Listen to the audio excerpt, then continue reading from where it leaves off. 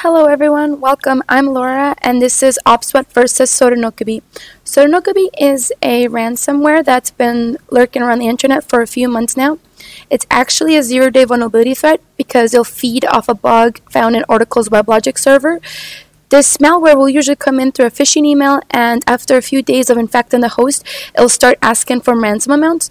Now, these amounts are not even that high, they're between 2 to 5k, but the reason why this is a very sneaky file is because it'll start to lead in its shadows or files similar to the ones that's been encrypted, and this makes the recovery process very difficult. Now, here at OPSWAT, we've actually been able to identify Sodinokibi as a malicious file for quite some time now.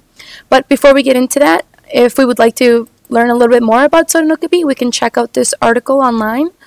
Additionally, we can also look at the article's website to see what they have to say about this vulnerability and how they've dealt with it. But I personally like to go on the OPSWAT MetaDefender Cloud website.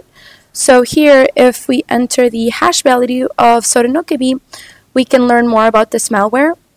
So 26 out of the 37 AV engines have identified Sodinokibi as a malicious file, so it's a safe bet that this is a malicious file. Additionally, we can check out the multi-scanning tab, which lets us know which AV engines have identified Sodinokibi as a malicious file, and which AV engines have yet to identify Sodinokibi as a malicious file.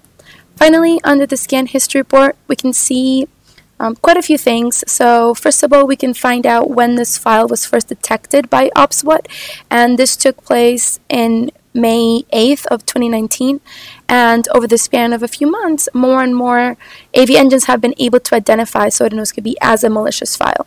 So this really goes to show the beauty of the multi-engine. I hope you learned something today and thank you for joining me.